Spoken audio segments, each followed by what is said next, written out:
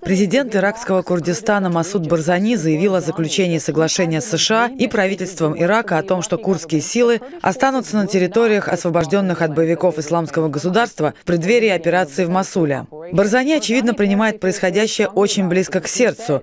Он сказал, эти земли были освобождены ценой 11,5 тысяч убитых и раненых бойцов Пешмерга. После подобных жертв мы не можем просто вернуть их под федеральный контроль.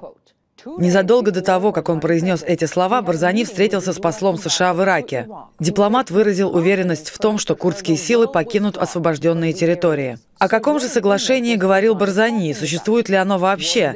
Возможно, американский посол и курдский лидер просто не поняли друг друга. Представитель Госдепартамента США не смог ответить на эти вопросы. Вместо этого он заявил следующее.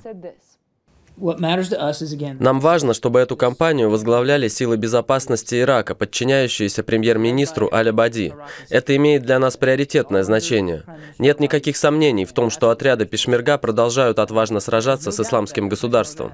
Иракские официальные лица заявили, что отряды Пешмерга должны будут покинуть данные территории. Летом 2016 года возглавляемые курдами демократические силы Сирии помогли освободить город Манбидж, после чего их попросили уйти из этого района. При этом США хвалили их боевые качества.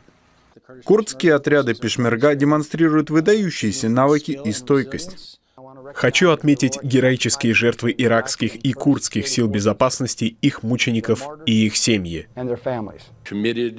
Курдские силы преданы делу и боеспособны. Они представляют собой образец того, что мы хотим видеть в иракских силах безопасности в целом. Они проявляют волю к борьбе и умение воевать.